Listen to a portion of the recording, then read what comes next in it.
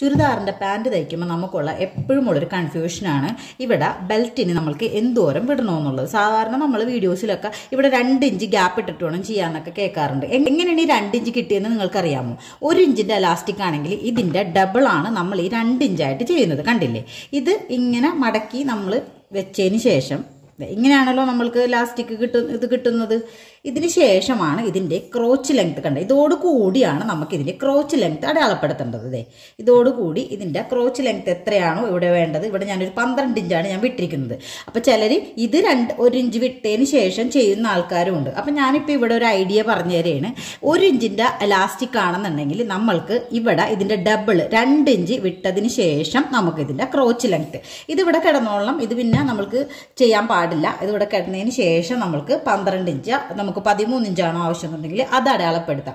Length അടയാളപ്പെടുത്തുന്നതും അങ്ങനെ തന്നെ. ഇതിവിടെ രണ്ട് ഇഞ്ച് അടയാളപ്പെടുത്തി രണ്ട് ഇഞ്ച് വിട്ടതിന് ശേഷം ഇതിന് എത്രയാണോ നമുക്ക് വേണ്ടത്? എനിക്കിപ്പോൾ ഒരു മുപ്പത്തിനാല് ഇഞ്ച് മതി എന്റെ ഈ ചുരിദാറിന്റെ ലെങ്ത് അത് അടയാളപ്പെടുത്താം. സാധാരണ നമ്മൾ ഞാൻ പറഞ്ഞല്ലോ ഇങ്ങനെ മടക്കി വെച്ചതിന് ശേഷം ഈ ഒരു ഇഞ്ച് കൂട്ടിയാണ് നമ്മൾ മുപ്പത്തിനാല് ഇഞ്ച് ചെയ്യുന്നത്. മുപ്പത്തിനാല് ഇഞ്ച് എത്രയാണെന്ന് വെച്ചിട്ടുണ്ടെങ്കിൽ ചെയ്യുന്നത്. അപ്പോൾ ഇതിനൊരു എളുപ്പവിദ്യയാണ് ഞാൻ പറഞ്ഞത്. രണ്ട് ഇഞ്ച് വിട്ടതിന് ശേഷം ചെയ്യാം. ഇനി ഇത് തന്നെ നമുക്ക് ഇലാസ്റ്റിക് വലുതാണെങ്കിൽ നമ്മൾ എന്താ ചെയ്യേണ്ടത്? അതും ഞാൻ പറഞ്ഞുതരാം.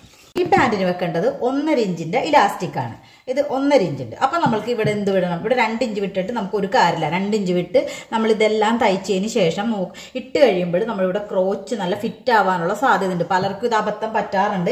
അപ്പം ഞാൻ നേരത്തെ പറഞ്ഞ ഒരു ഫോർമുല ഉണ്ടല്ലോ. ഇതിന്റെ ലെങ് വിട്ട് എത്രയാണോ അതിന്റെ ഡബിൾ വിടണം. ഡബിൾ വിട്ടതിന് ശേഷം നമ്മളെല്ലാം അടയാളപ്പെടുത്തി കഴിഞ്ഞാൽ കറക്റ്റ് ആയിരിക്കുള്ളൂ. അപ്പം ഞാൻ ഇവിടെ മൂന്ന് ഇഞ്ച് ഇവിടെ ഇങ്ങനെ ഒരു ലൈൻ കൊടുത്തതിന് ശേഷമാണ് ഇതിന്റെ ക്രോച്ച് ലെങ്ത്ത് എടുത്തിരിക്കുന്നതും ഇതിന്റെ ലെങ്ത്ത് എടുത്തിരിക്കുന്നതും ഇങ്ങനെ എടുക്കുകയാണെന്നുണ്ടെങ്കിൽ നിങ്ങൾക്ക് കറക്റ്റായിട്ട് നിങ്ങൾക്ക് കിട്ടും കേട്ടോ ഒരു പ്രോബ്ലം ഉണ്ടാവില്ല ഇങ്ങനെ ഇലാസ്റ്റിക്കിന്റെ സംഭവം. ഇലാസ്റ്റിക് എത്രയാണെന്ന് ഒരു ഐഡിയ ഉണ്ടാക്കിയതിന് ശേഷം മാത്രം ഇതെടുക്കുക. നമ്മളിവിടെ മൂന്നിഞ്ച് ഇഞ്ച് അടയാളപ്പെടുത്തിയതിന് ശേഷം ഒരു ഇഞ്ചിന്റെ ഇലാസ്റ്റിക് ഇട്ടാൽ ക്രോച്ച് ഇത്തിരി ഇതായിട്ടിരിക്കും. ഇഞ്ച് ചെയ്യേണ്ട ടൈപ്പ് പലാസോ ഒക്കെ ആണെങ്കിൽ ആ ഒരു വൃത്തികേടായിരിക്കും. ക്രോച്ച് കൂടി വന്നിട്ടുണ്ടെങ്കിൽ. അപ്പോൾ എത്രയാണോ ഇലാസ്റ്റിക് അത് കറക്റ്റ് ആക്കിയതിന് ശേഷം മാത്രം ഈ ലെങ്ത് ഇവിടെ വിട്ടു നോക്കാം ഇവിടെ ഇപ്പം രണ്ട് ഇഞ്ച് വിട്ടതിന് ശേഷം നമ്മൾ ഒരു ഒന്നര ഇഞ്ചിന്റെ ഇലാസ്റ്റിക് വെക്കുകയാണെന്നുണ്ടെങ്കിൽ തീർച്ചയായിട്ടും ഈ ക്രോച്ച് നമ്മൾക്ക് ഫിറ്റായിട്ട് ഫിറ്റ് ആയിരിക്കുള്ളൂ. അപ്പം ഈ ഒരു കാര്യം ശ്രദ്ധിച്ചിട്ടുണ്ടെങ്കിൽ നമ്മൾക്ക് ചുരിദാർ തയ്ച്ചു കഴിയുമ്പോഴുള്ള ഇറുക്കം നമ്മൾക്ക് ഒരു പരിധി വരെ തടയാൻ സാധിക്കും. ഇതൊരു ഐഡിയ കിട്ടിയല്ലോ? ഇനി ഇത് രണ്ട് ഇഞ്ചിന്റെ ഇലാസ്റ്റിക് ആണെങ്കിൽ നമ്മൾ ടോട്ടൽ നാലിഞ്ച് വിട്ടതിന് ശേഷം വേണം നമ്മളിത് കംപ്ലീറ്റ് അടയാളപ്പെടുത്താൻ വേണ്ടിയിട്ട്. അപ്പം ഇന്ന് എങ്ങനെ ഉണ്ടായിരുന്നു ഈ ടിപ്പ് ഇഷ്ടപ്പെട്ടോ നിങ്ങൾക്ക്? അപ്പോൾ ഇതുവരെ സബ്സ്ക്രൈബ് ചെയ്യാതെയാണ് എന്റെ ചാനൽ നിങ്ങൾ കാണണമെങ്കിൽ ഇപ്പം തന്നെ സബ്സ്ക്രൈബ് ചെയ്തേക്ക്. ഇതേപോലെ വീഡിയോസായിട്ട് ഞാൻ ഇനിയും വരുന്നതായിരിക്കും. It's mine by Shalimar